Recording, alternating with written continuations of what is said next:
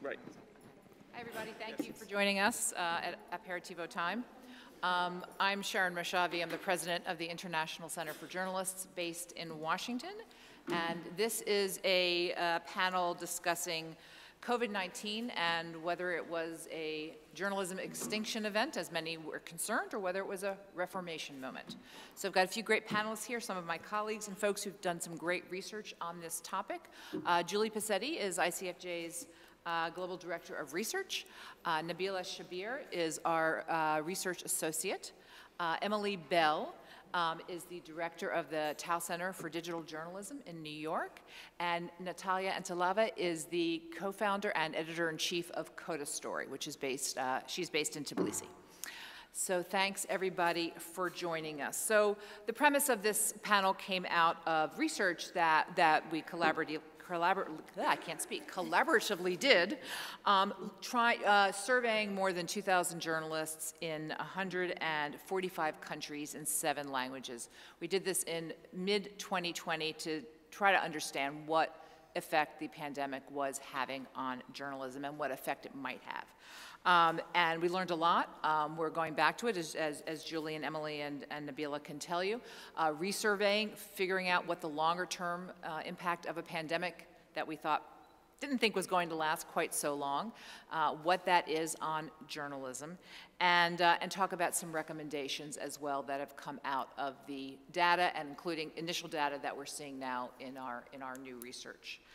So let me uh, start with Julie here. Thank you, first of all, thanks everybody for joining us. So I, I guess the main question is basically go to, going to the title of this. You know, many had feared that this was going to be an extinction event, that media organizations were going to collapse left, right, and center. Um, others were hopeful that maybe something new would be born. So what's your, uh, uh, you know, analysis in terms of where, where the uh, pendulum swung? Yeah, I think, look, when we um, launched this research project in uh, March, April 2020, just as the first wave of the pandemic uh, was causing us all uh, great disruption and enormous concern, and as it has continued to do so over the past few years. We were very concerned. Um, many commentators were concerned, and I think Craig Silverman was probably the first to suggest that this was the news media's extinction event um, likely to be the news media's extinction event. And I think many of us were extremely concerned that he might be right. Um, here we are in 2022 as the fourth, fifth, what are we up to now, wave um, is, is predicted um, and starting to take hold uh, around the world.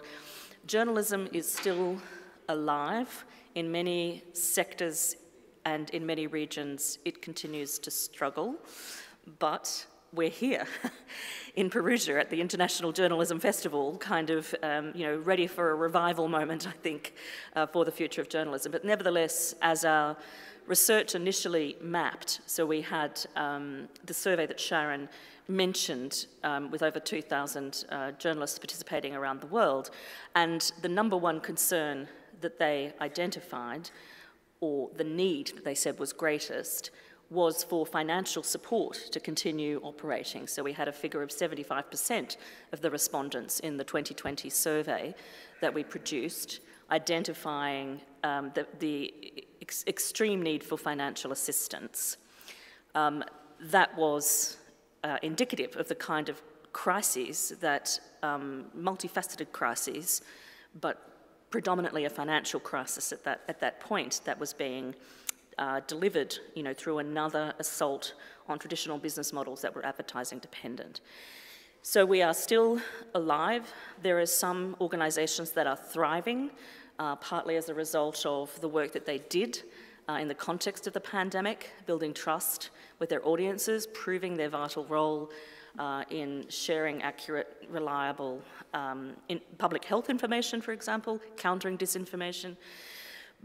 But we are in a position now where we can see that there are, you know, um, as the Reuters Institute report acknowledged, um, you know, few winners, but many losers in this context. Um, and we'll come back to this in a moment, because uh, I'd like Emily to weigh in here on, on that question as well. But um, we've now launched the second survey um, from this project to try to determine two years on what the experience looks like, not just economically, because among the, the really important findings were um, the threats to press freedom and the safety of journalists um, that were emerging as a result of you know, what some have called the disinfodemic uh, in combination with the media viability crisis um, and restrictions and threats against journalists around the world trying to do their job of reporting accurately, fairly and critically on government policy. So we've just launched this next survey and I'll share some of the data with you that um, is is, very preliminary but indicates um, certain shifts in experiences Shall we let Emily Yeah, I was just take? about to say, Emily, do you want to chime in? What, what, where do you fall in the uh, Reformation versus Extinction event uh, pendulum? Well, so I think, I, I think as Julie says, um, one of the things we saw right at the outset of the pandemic was uh, large numbers of newsrooms reporting at least a 50% drop in their um, uh, revenues because there was an immediate collapse of the advertising industry. Mm. Um, we didn't see the economic, um, like all of these things, it's actually been a sort of, it, it's been an episode of extreme inequality for news organisations, which are the larger, wealthier news organisations have actually done really well. They've just had a most probably the best financial year a lot of them have had for a long time. Uh, but we tracked both through this research and actually research that we did um, at the Tow Centre on the, uh, called the Journalism Crisis Project, uh, what was happening to smaller outlets or sort of nationally. 100 newsrooms either merged or closed, over 6,000 jobs disappeared from the field, you know, again, in just the, the, course of a year. Uh, and we don't see, we haven't seen any uh, relief at uh, local level. Um, we see a very, um, we ha we've seen a very uneven pattern um, in terms of whether, you know, even, even new newsrooms that you feel would be very equipped for the digital age have actually suffered, uh, perhaps sort of dis disproportionately. Um, we identified one or two things in the research which I would call big impacts that have played out and continue to play out through the pandemic and actually sort of post-pandemic.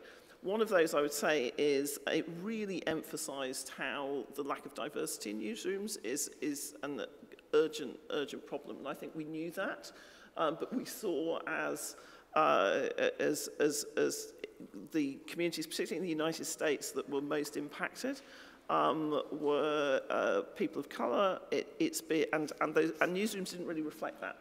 Uh, and I would also say that the politicisation of the story mm. was something else which has sort of followed, uh, I think, you know, that, that debate um, has moved into the newsroom now. So this is a really big effect, which is now having granular sort of issues at, at a low level, um, not a low level, but like a granular level within newsrooms.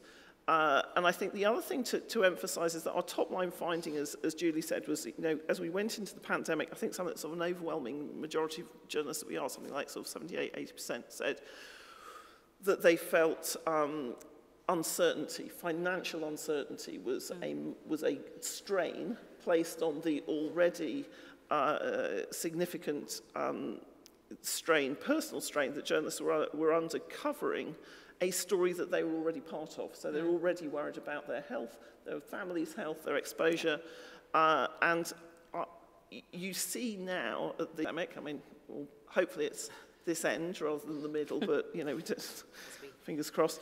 Um, but, but, but we've seen, you know, and I think we've seen some, so, so where I think there is hope is that, that I think that we've seen some of, some of these issues play out into uh, movement for unionisation in newsrooms and more uh, stable uh, working environments. I think we've seen more pressure for um, better working conditions in terms of people's um, work-life balance, mental health, uh, because it's really difficult you know, the, the intensity, I think it's really hard to overstress the intensity with which most journalists worked during the pandemic mm. and often isolated. So, you know, it's a team sport, and when you're isolated from your teammates, it's, it's particularly stressful.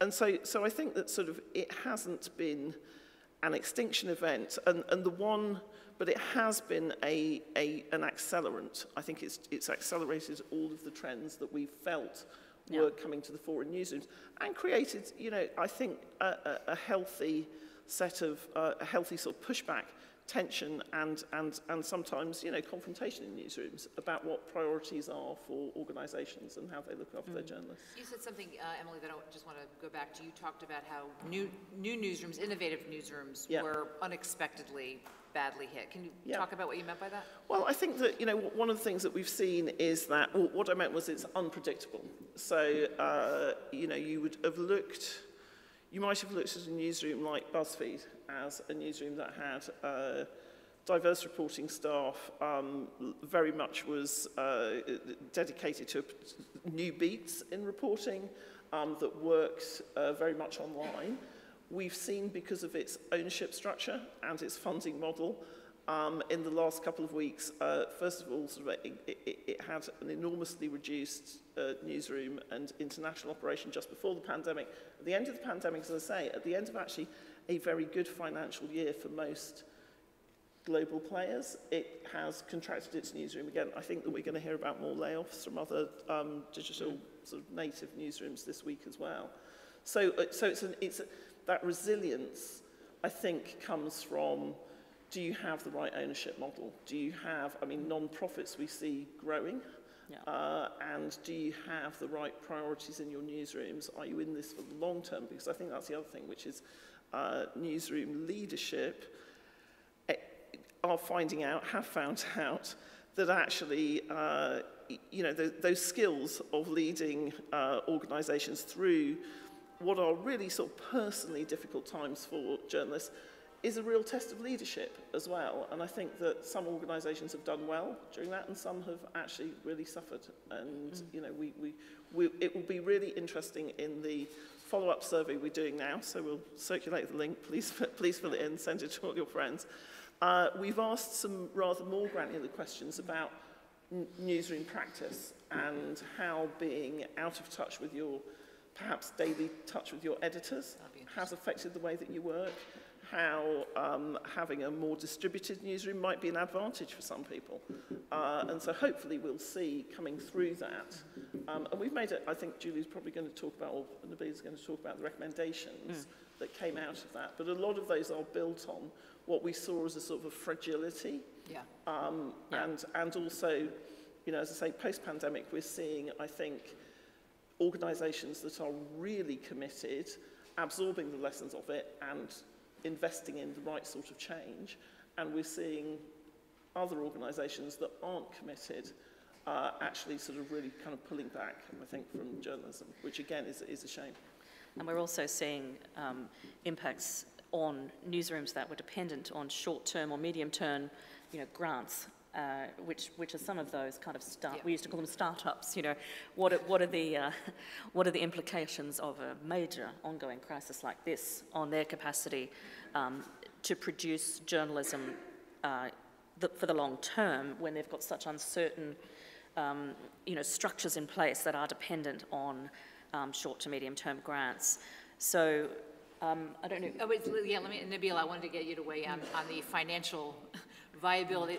Nabeelah has the dubious distinction of having worked at a newspaper that went under uh, during COVID, a news organization, and, uh, and researching this. So I'd love to get your thoughts on that issue. Yes, hello, I'm Nabeelah. My job became extinct in the pandemic, as did a few of my colleagues who are in this room today, who I hope will agree with me on my little assessment of that. So before joining ICFJ, I worked uh, at the correspondent, so member-funded, member-driven um, international media. So we had been in existence for six months uh, before the pandemic came along.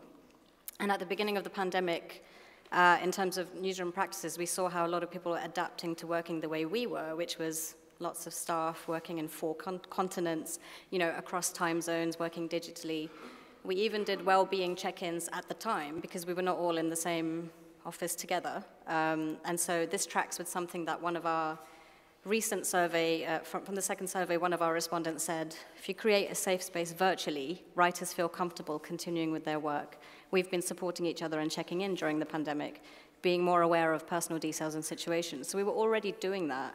Um, and at the beginning of the pandemic, I would say our organization had a slight spike in memberships. There was this feeling of solidarity and wanting to uh, contribute to whatever might happen, this extinction event idea of the, of, of the media. Um, but, you know, unfortunately, members are humans too, and so um, some of them became unwell, they started to lose revenue sources, there was this general cost cutting, and you could see that being reflected in membership for, for our media. And so, um, Another thing that one of our survey members said recently in, in the second survey, uh, the pandemic just reinforced that readers want full coverage in this age of tweets and texts. The audience still values news that directly affects them, even if it's happening far away. Um, but ultimately, it was decided at the correspondent that uh, members wanted more national news, uh, not uh, international news. Uh, you know, it was a confusing time, it was a mysterious time. Um, and um, yeah, so, and you know, borders were effectively put back into place and implemented, which is not what our organization was attempting to do. I'm looking at my colleagues for affirmation there. Um, so in our case, it, it, was decided that it was not sustainable to continue as a media organization, like not to commit to whatever change this might require. Um, and I don't think there was the space to sort of redefine what we needed from our members, you know, in that sort of emergency period. And so there I was, redundant in a pandemic before Christmas, um, but it's fine. I, have lived to tell the tale. And um, we did have some audience engagement findings from the recent recent snapshot of the, uh, of the pandemic, which I can share, which is just that, um, you know, uh, journalists have told us who, who've replied to our second survey, they've worked harder on identifying their community's information needs. They've experienced more engagement with their stories than usual. Some of the details are that they are trying to work to convert non-paying readers into members, into paid members. They are starting membership programs. Um, more of them have taken down paywalls than erected them. And um, they've been introducing new member offerings such as you know, more newsletters and things like that. And ultimately, from their perspective, audience trust has increased uh, in their work during, during the pandemic. So those are some positive findings. There we go, positives.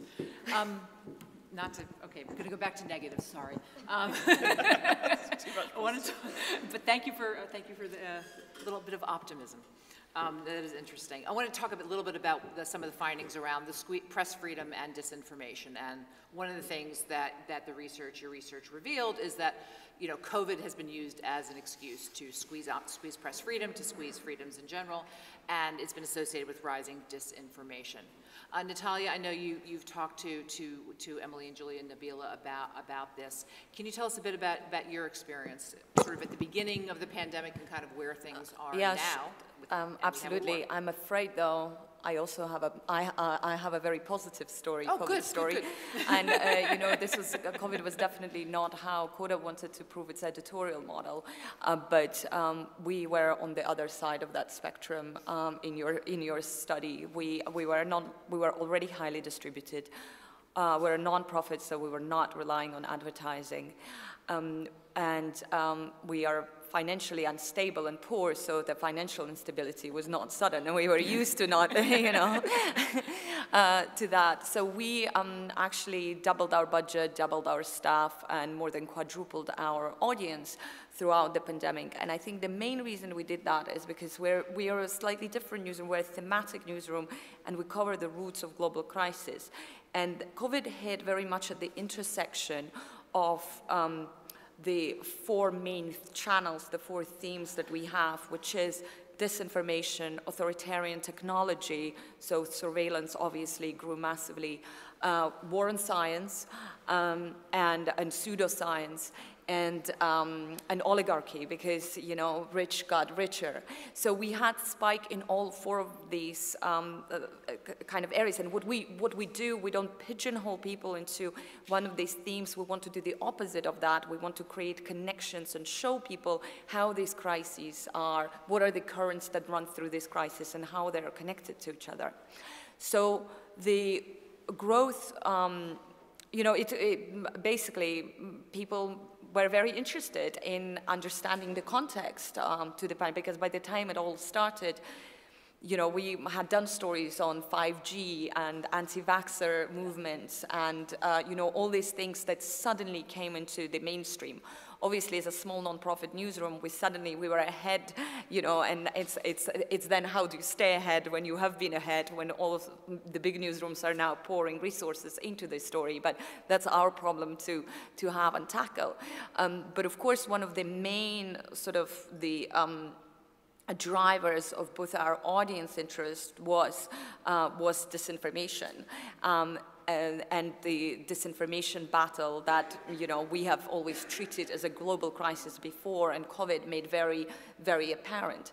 And um, so building, you know, and the the war in Ukraine today, like another crisis with same themes that are running through it as as COVID did, you know, is um, actually it's fascinating how it's using some of the same channels that we saw being activated through, um, you know, uh, during, during the pandemic. For example, you know, one of the ways that the Kremlin is now getting its message through is um, to, to the mainstream is through the anti-vaxxer groups that created, that were created and mobilized and grew massively. I mean, grew to the point when they became political parties in Europe, right?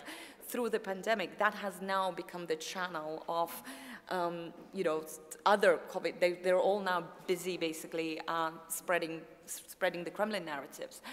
And um, so, um, I mean, yeah, it was um, obviously through the, I mean, disinformation was nothing new, but through the pandemic, it became, mm, you know, it became about each of our, like, health. Uh, it became very personal, and it became um, very important to everyone.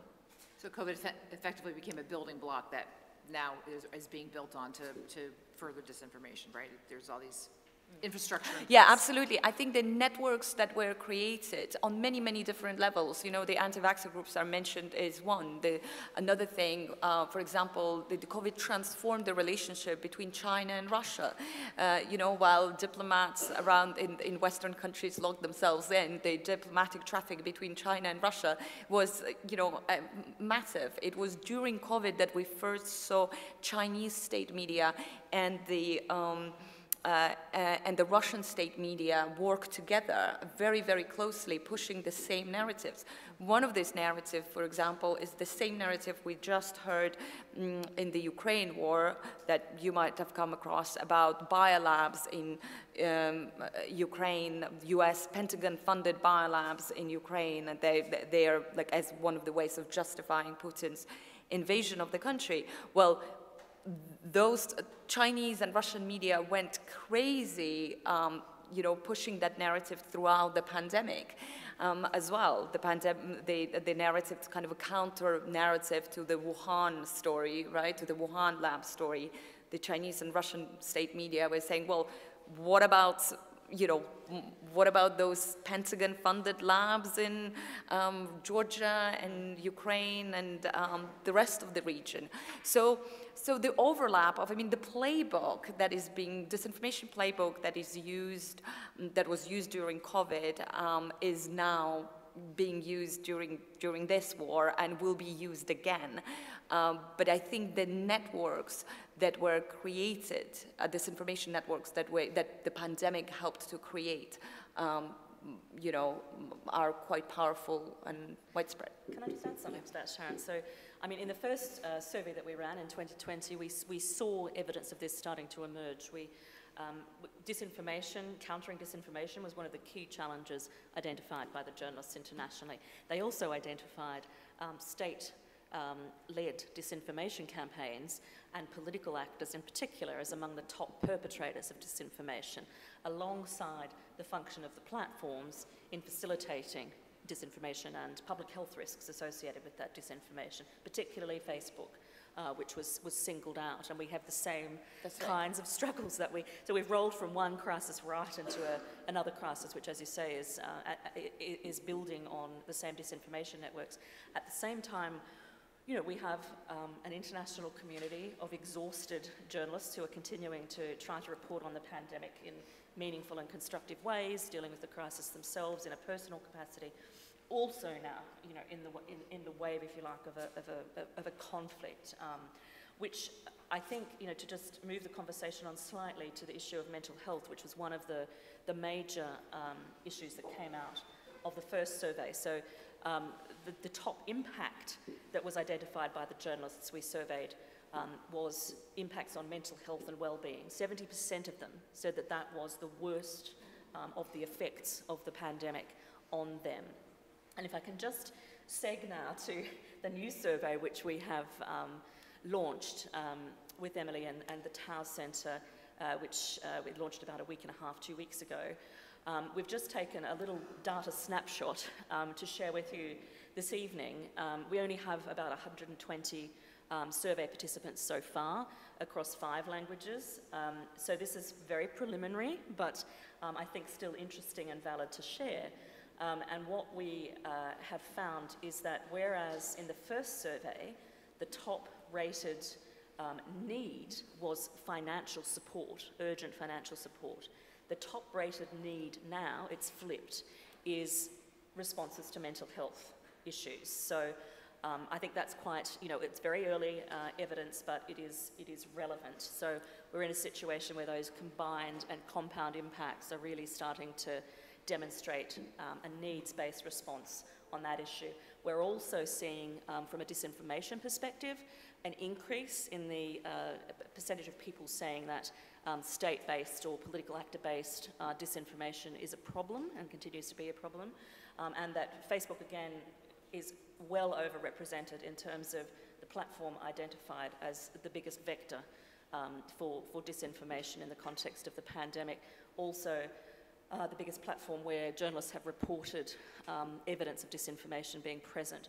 So I think that's kind of, you know, this is again early evidence, but it's, it's interesting to, um, to see the way that's evolved. So in the first survey, uh, mental health was the fifth top need in terms of responses that were called for. Now it's the top need. That's interesting, that is interesting. Um, One thing from the first survey, which I thought was interesting, and we'll see what happens now, is that, and I think you were surprised, Julie, is that when we, when we, we again, we did it in seven, seven languages, is that global, the global responses were pretty uniform. And so, and, and so I'm curious as your thoughts as to what that, what that tells us about, about uh, the journalism, you know, response to, to COVID. Sure, I mean, uh, Emily can weigh in on this too, but just, just a, a top note. Um, this was, you know, this was a global crisis, and while there were different manifestations which um, Natalia has eloquently identified in terms of the, the disinformation narratives and so on, there was a universal experience of um, shared suffering and, and shared exhaustion, you know, and shared concern, I think. Um, and so we actually found that there was, that we're talking, you know, 0.2% difference between language groups um, that was identified. So it was incredibly consistent uh, that those, you know, that those top identified needs and those top identified um, impacts, uh, the experience of disinformation, the, the challenges around press freedom. So you had, you know, in the context of the US, you had a, you know, a, a kind of COVID denialist essentially, or at least a, you know, a, an operator who was suggesting um, potentially deadly responses to COVID-19 treatments in the White House. And so you saw those challenges appearing in that context as well as in the contexts of other states where you might have traditionally expected to find such, um, you know, such challenges and narratives. So, um, you know, at the time we also um, suggested that what we were seeing in the data around um, journalists identifying both an increased sense of um, vocational commitment, you know, and um, also feeling more driven, you know, to to report effectively and to serve their communities in this context. They experienced a great, what, they, what they interpreted as a greater sense of trust in their work. Mm-hmm. Um, I don't know, Emily, if you want to pick up on this in terms of the global manifestation. Yeah, no, I think it's interesting that, that as I say, the, the, the positive and um, uh, Natalia really sort of, you know, sketched out from the, the, the point of view of a practitioner, but that positive of people finding real meaning in their work came about through, uh, I think, I mean, off the hook traffic figures. So everybody, like in that first phase of the pandemic, both in the interviews uh, and to some extent in the data, you saw uh, the real sort of split between we think we're going to struggle financially, but like our, our traffic, the engagement, the way that our audiences are coming to us on a much more frequent basis, uh, it, it, for meaningful stories, not for clickbait, but for yeah. meaningful stories, really sort of rise at the same time. We heard that over and over again, particularly in the US. Actually, the US is really interesting because it's not that different to, and, and things like sort of 20% of um, respondents said that they increase, uh, that journalists in, um, experienced a much greater level of harassment during uh, the pandemic. And again, this is not you know, America is one way, Europe is another way, Africa is another way. Like all of this is, is, is now sort of um, shared. And I think that, you know, it, it, we know that it's a global industry and we know that we're all using the same tools and the same platforms and we all talk a lot more than we used to uh, and we share practices.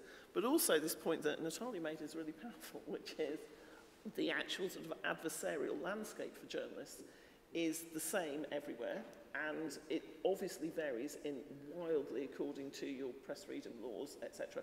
But not that wildly when it comes to how uh, civil society is now being often manipulated by political actors and how the, the press's role in crises is weaponized yeah. to sort of in, increase that hostility.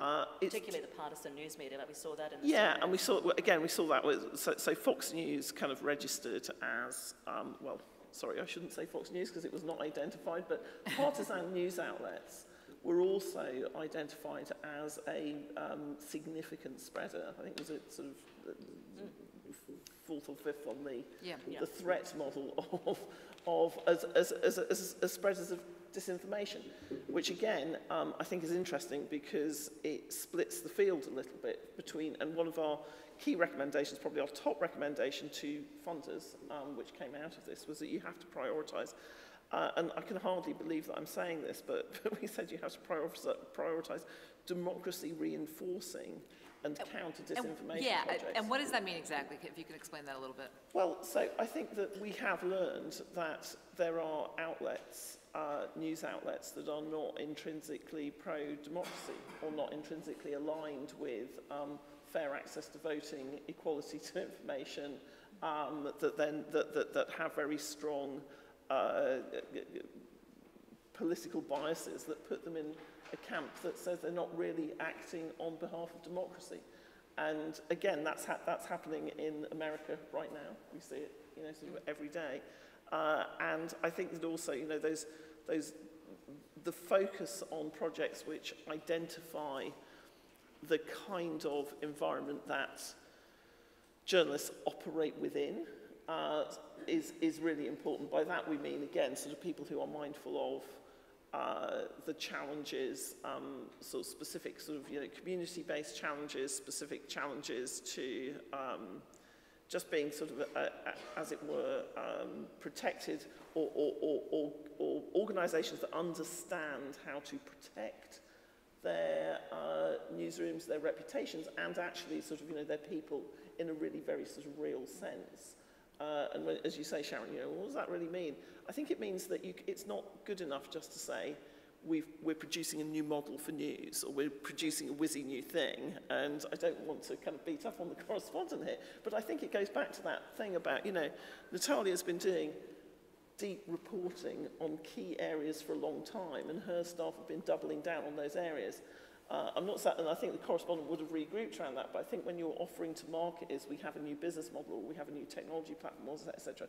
It's not enough. You have to have that mission, I think, behind it as well. Definitely, and what, that, those sorry, external Yeah, and can I just very quickly jump in? I think, I mean, thank you, first of all, I appreciate that, but, um, you know, I think in some ways, I think with all this like disinformation conversations, um, you know, we get locked in and kind of ranting about like how do we how do we fight disinformation? And I, I, I think we don't actually yeah. need to reinvent anything. Right. Um, I think what we need to do is just do some old-fashioned good old-fashioned reporting and journalism. And one of the hallmarks of quality journalism is journalism that proactively tells you a story instead of reacting to something. You know, I, I, I hate the whole term of battling disinformation and combating disinformation. My job is not to combat anything. My job is to report on a crisis, and disinformation is a crisis, and it has the victims and uh, perpetrators, and it has human stories, and it affects us as societies, and we need to go and find them. Mm. Because if we just keep sort of reporting on what people say rather than what they do, you know, we, all we are doing is just amplifying the noise, yeah. and that noise is such a big part of disinformation. And for me, one of the, one of the interesting outcomes from this period of reckoning that has happened um, with regard to the pandemic, but also in the context of the pandemic we had in um, many Western countries, with the Black Lives Matter movement, for example. And there has been a reckoning around um, what quality journalism means in terms of not just interrogating the facts, not just presenting a variety of views, but drawing conclusions based on analysis. And, and you know, so critical independent journalism is part of the mix here. And I think there's been a lot of, um, you know, a lot of challenges in particular countries where the he said, she said model of reporting um, was considered to be appropriate. Um, well, it's not when he is saying that, um, you know, that Ukraine is, is run by Nazis, and it's not appropriate when the president of your country is saying that you should drink something toxic, you know, to cure um, COVID-19. And I think that is a really important, um, you know, moment of reformation potentially, which is what we're talking about here in reference to the, to the pandemic, that's useful to unpack further. Yeah, so let, let, me ask you that, because one of your recommendations was maximize mm. trust. The newsroom should yes. maximize trust. So especially in the context of what you all are saying here about what is the job of journalism in a newsroom right now, what is, what is the job then to maximize trust? What does that recommendation actually mean in practice? Well, we're talking about, um, in terms of responding to the crisis, recommendations for action from funders or other organisations that support journalism. Um, and here's, a, here's a, an interesting anecdote. Nabeelah and I, in a previous life, worked uh, for the Reuters Institute, and I'm still affiliated there. But we produced a report just before the pandemic, much like the correspondence business model, we produced a report that highlighted uh, the need for more physical connection, you know, deeper, more meaningful engagement with audiences, you know, and then boom, you know, people were even talking about, um, you know, performance journalism, so journalism is theatre and all these fascinating, you know, ideas, uh, and the pandemic hits and it changes everything.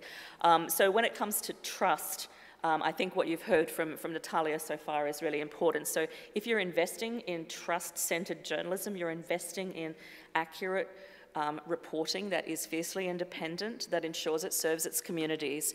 Um, and what, one of the other interesting uh, things about the, the, journalists who we surveyed, um, you know, there was a real sense of shared suffering between journalist and audience. You know, um, there was something quite unifying about uh, that experience. And in the you know, in the survey that we're currently running now, I think Nabeelah was pointing to some of the evidence around um, audience engagement. So now we have to think again, it's not necessarily reinventing audience engagement, but thinking again of what, what we learn through this process about how to serve our communities, whether they're niche or they're global.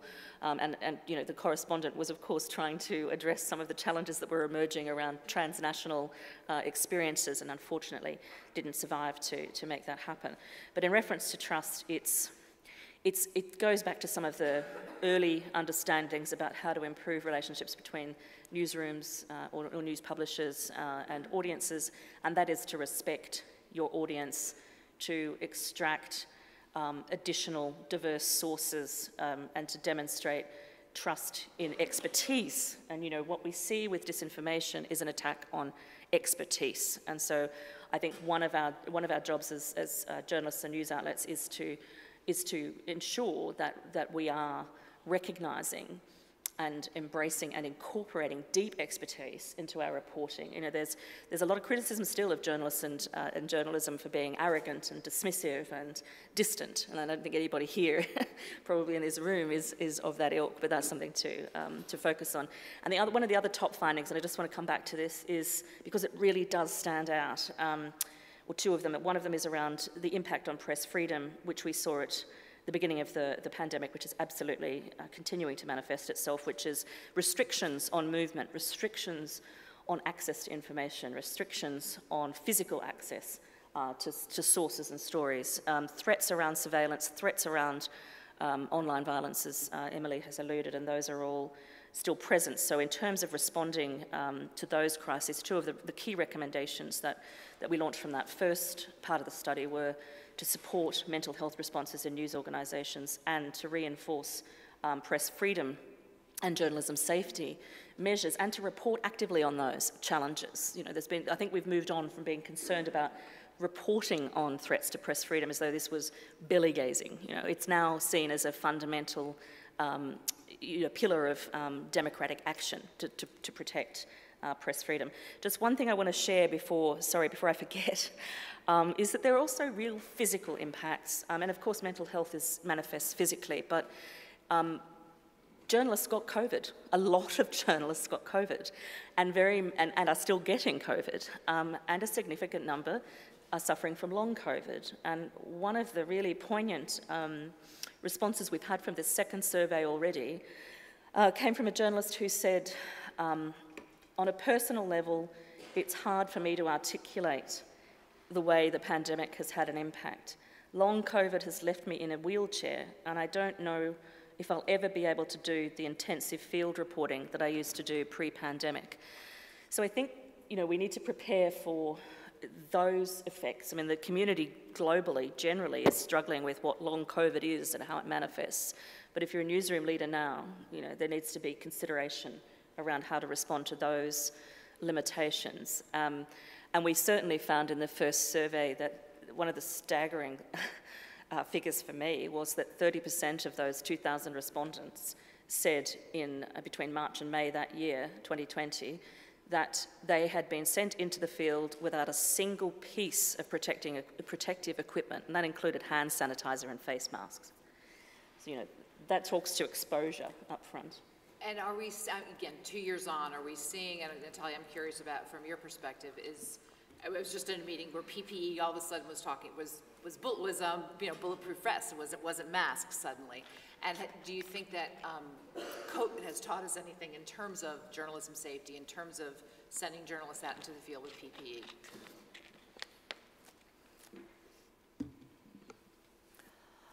You know, it's very difficult for me to answer that question. I mean, um, because I come from one of the most safety conscious organizations um, in the world, which is the BBC. So I have carried that culture into the newsroom that I now co-run. And uh, so we are always very, you know, quite dogmatic about it. And it's one of the reasons why we don't have anyone on the ground in Ukraine right now because we feel we cannot, we don't have the resources to provide the level of security that journalists in Ukraine currently need to be covering that war. Um, and in the same way, and there are you know, lots of stories that add context that can be done around it. And in the same way, uh, with COVID, um, you know, we felt, I mean, I, I'm just, I might be the wrong person to be answering that question. Yes, I, I, I thought, you know, obviously you could only do the job and we were all, you know, we all owe huge debt of gratitude to people who were on those COVID front lines and, you know, in the hospitals and masked up. And of course, you know, they all had to be. And I think, you know, the point that Julie makes about sort of the, mm, suddenly us being in the same boat with our audiences is a very um, is a very powerful one because it affected um, absolutely everyone. So we all became um, safety, but we were we were we were already very safety conscious and obsessed to begin with. so. Oh, did you want to say something, Emily? Or no, I'm sorry.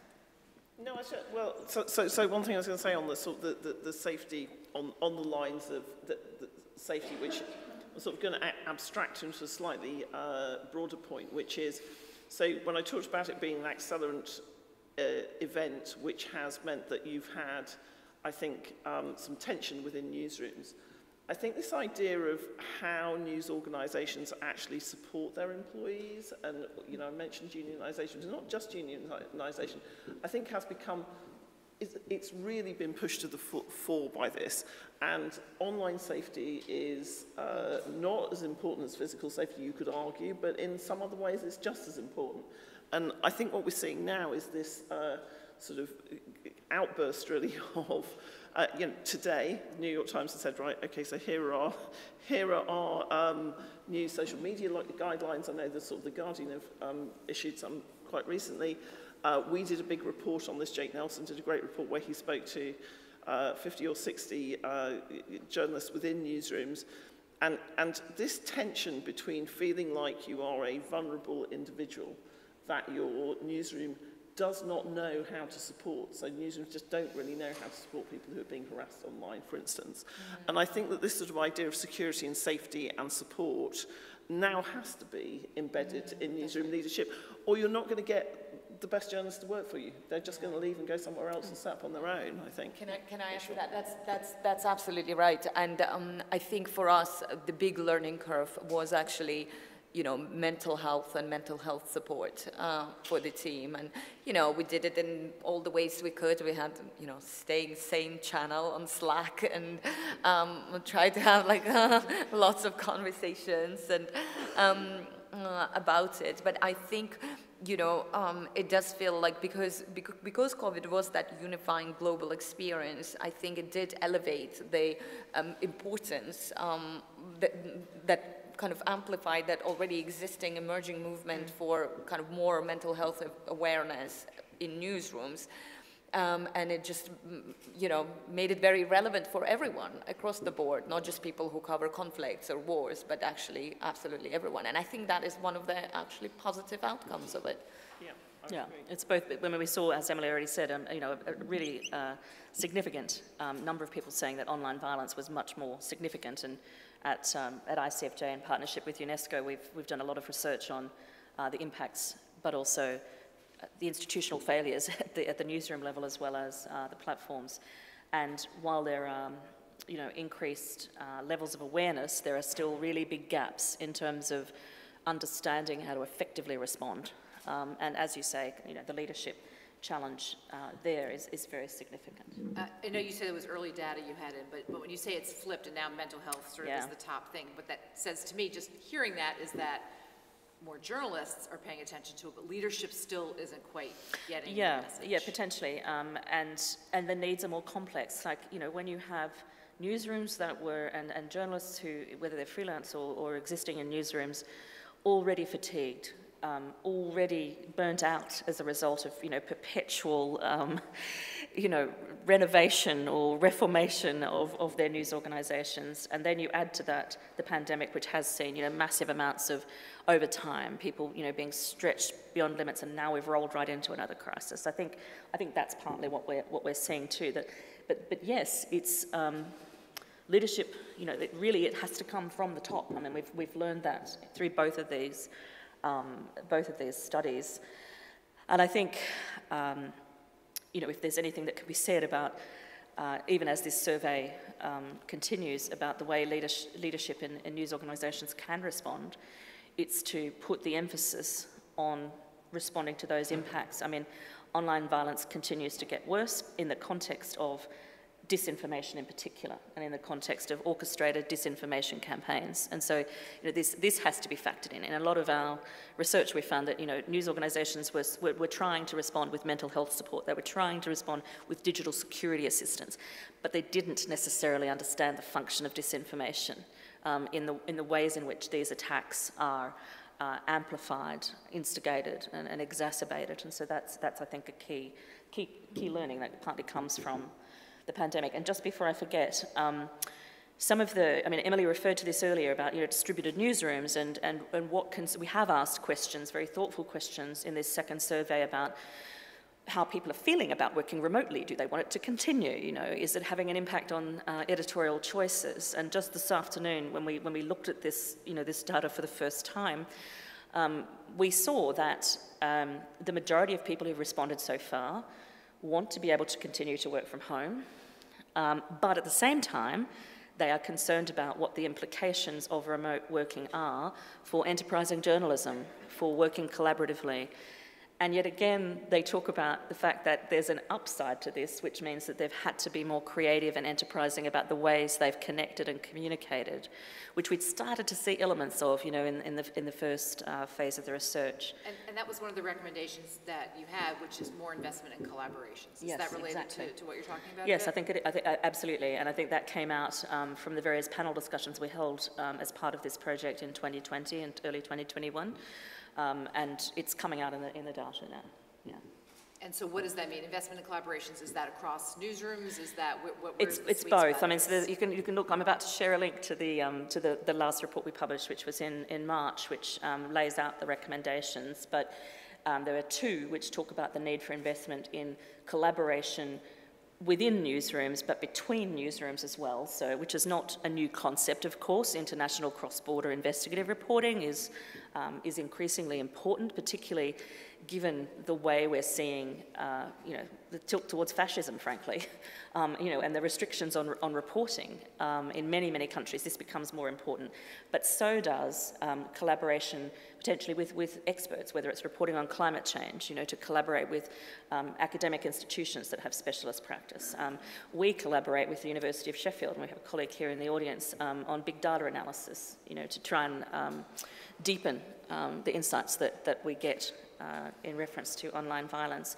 And civil society organisations, you know, you've just seen the extraordinary work of the Pegasus Project, which was a partnership um, between, a, you know, a very important news, you know, collaborative news organisation, Forbidden Stories, and Amnesty International, you know, to, to really sort of strengthen those skills and try to fill the holes. And what about, um, I'm curious, you talked before about sort of audience engagement and um, is there collaboration, I mean, as we sort of emerge from the pandemic, is there collaboration with audience? Do you see that relationship changing, continuing to change? I've got to say something very important to ensure that I still have friends at the end of this panel in terms of the colleagues that I used to work with, which is that the journalism that, that, they were doing, which did not survive in that transnational media offering, continues. And they've taken their journalism to independent media platforms where they are actually deeply in contact with a lot of community which followed them uh, from the organization where we worked at. And so I think in that way, yes, I do see a deepening because I see that people are still interested in that journalism, but you've got to be more creative about the, the structure which provides you the freedom to be able to say what you do want to say and, and the journalism that you do want to report on. And I also wanted to say that um, in terms of collaboration, a lot of people in the 2020 survey said it was a solution that they thought was viable to be able to go forward and continue out of this sort of quagmire of, um, you know, the, the, fact that they couldn't go out and report anymore. They thought that collaborating with each other across regions, uh, across countries, was actually something that they'd like to do. Um, in this snapshot of the survey that we, that we looked at today, in this small, small sample set, uh, we had responses from Venezuela, the Pacific, India, and Hong Kong, you know, cited, uh, where people say it's hard to do their work uh, with regards to press freedom threats, especially in the pandemic. So I think definitely there's evidence there that people would like that, journalists would like that as a solution in terms of collaboration. I'm sorry, oh, oh, sorry. Um, Emily, I wanted to ask you, you talked before earlier about, as we, I think, close to wrapping up, we're not allowed to do questions, right? Just no questions? No, apparently we're not allowed to do questions because of yeah, concerns been, about social distancing. We've literally been given a yeah, thing okay, saying, okay. please, uh, no audience questions. questions. I don't, but, I don't really hold with that. I think you should ask. I know, I know. That's why I haven't stopped for questions because I remember the directive. I think you can yell out questions if you have any. We'll yeah. fine okay, with that. Can we do that? Honestly. Yeah. I want. I mean, you're masked, and, and there's not too many of us, so I'm. I think we. Oh, we, everyone. Okay. I, yeah. actually, I think we should hear from you because you're our South African colleague who actually, in the pandemic, running a digital platform, launched a print paper and found it in innovative ways. he said, "We're mad, we're crazy," to, to quote him.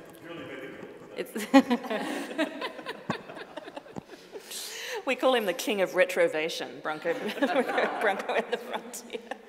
In a very effective way. So does anybody have a question that they would like to ask, masked or, or otherwise? Branko, go ahead. Um, okay, there's a, looks like there's many tunnels in front of us. Is there any tunnel with some light at the end? there's lots of tunnels right now. We started out with some light. We had some good light. Yeah. in terms of the coverage of the pandemic or responses to... It was something optimistic. right. Yeah.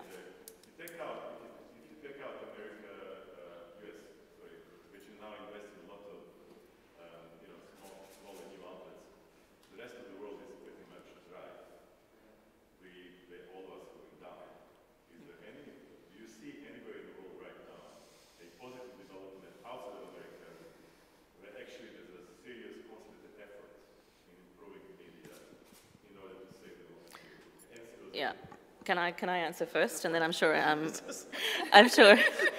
Natalia, why are you crying or laughing? Okay. I am.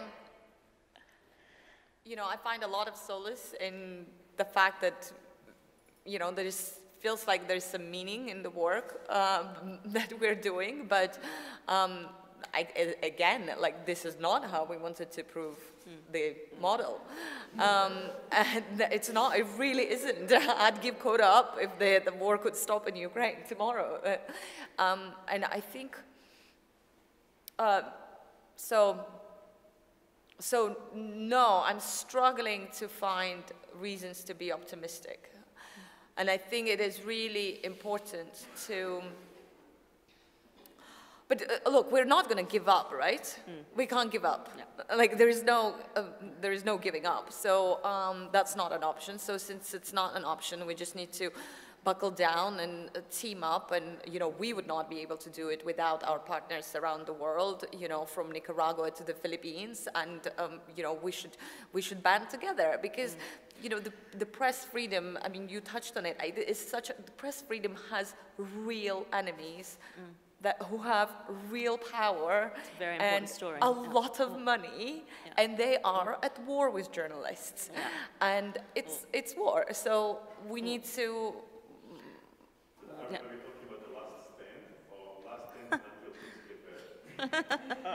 Let me get my crystal. It's yeah. always the last stand. I do, I do. I have, I have something optimistic to say. Well, um, you know, my recommendation is to talk to any Ukrainian because they yeah. seem to be the most optimistic yeah. people.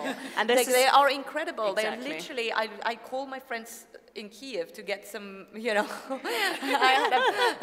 please, please help me remain sanguine like they, about the future. You know, because they have a, they have a. I think partially, I mean, obviously they're all amazing, but also they have a real sense of purpose. Yeah. But there is no reason why the rest of us shouldn't have a real sense mm. of purpose because, you know, this is this is not just an attack on. Right. On a country. It's an attack mm. on the values that enable our industry and our Indeed. profession. And if we don't defend it yeah. uh, with the tools that we have, then we're screwed. And let me give you, just let me give you a positive example. Sorry, I just want to, I want to share this. you, I, I know it's a, an example that has been rolled out for several years now, but you have a look at Rappler in the Philippines, um, where, you know, the Nobel Prize uh, winning uh, CEO and former editor-in-chief Maria Ressa is at the helm.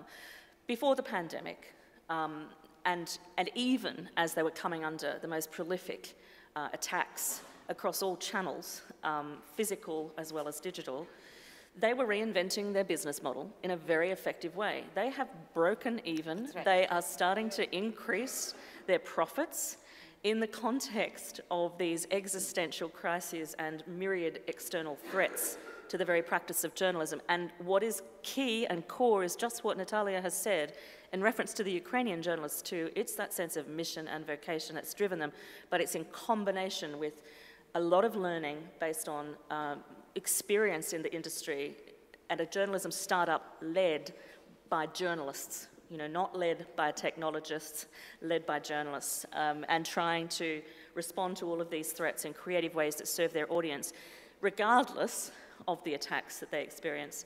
They are surviving. I mean, what will be the big test, of course, is the outcome of the next election in the Philippines. You know, has all of this um, actually led to a, a plan for survival um, now that the business model's secure, can they actually survive all of the press freedom threats? And sorry, Emily. Emily. No, I was just going to say, I think that, you know, as you know, Branko, but almost anybody, that, that actually this is a really critical year for um, not just journalism, but actually for democracy. Mm. And, you know, we have half a dozen, you know, so my friend Patricia here knows that also from Brazil, mm. that there are a number of elections and we will see in the course of this year whether the world is going sort of further towards darkness. Um, and I think that Ukraine uh, has demonstrated to people who are not paying attention that actually this discussion of disinformation networks, of there being an anti-democratic extremist movement, which is everywhere, which exists in the United States now, is not just a fantasy or a conspiracy theory, but it's real and it's having, and actually there is a conclusion um, which is uh, ugly and takes us back 80 years in, in Europe. And the people with the money and the power in Europe and America, if they want to address this, they have to address it not just in their own backyards, they have to help address it everywhere because it's not binary and it's not one country or two countries or whatever. It, it, it is you know, the, the small world is, is, in, is in peril when it comes to democracy. And I think that journalists, we have to keep telling that story. That, you know, this is not an accident. These, I, these are not isolated incidents. You know, whether it's Zemmour in France, Bolsonaro, you know, whether it's um, kind of the, the movement in America where you have Peter Thiel putting $30 million into reshaping the, that it's all the same. And I think journalists really do, you know, my students get a mission from this. I think every journalist gets a mission from this, but we have to keep telling that story. So that, that's, that's a light. It may be a train coming in the opposite direction. And, and, and we also have to keep making it relevant to audiences who are Yes. far away. We have to be Yeah. get better at connecting the dots. You know, I mean the the news is easy. The context is uh, you have to work harder. Uh, right, to create that context for local audiences that you don't necessarily so that, and that's our job. Like we need to figure out a way of how to explain to audiences in Texas why Mar- Maria Ressa's story is important for them too. So in that sense, I think Nobel for, I mean, I've disagreed with many Nobel Peace Prize Committee decisions, but in that case, it was an, an amazing boost to freedom of expression and, and journalism because it was just a recognition that, you know, the, the fight is real. Was that optimistic for you? Yeah. anyway, it's a good way to end. Thank you all very much. Uh, Thank you panelists. Thank you everybody for joining us.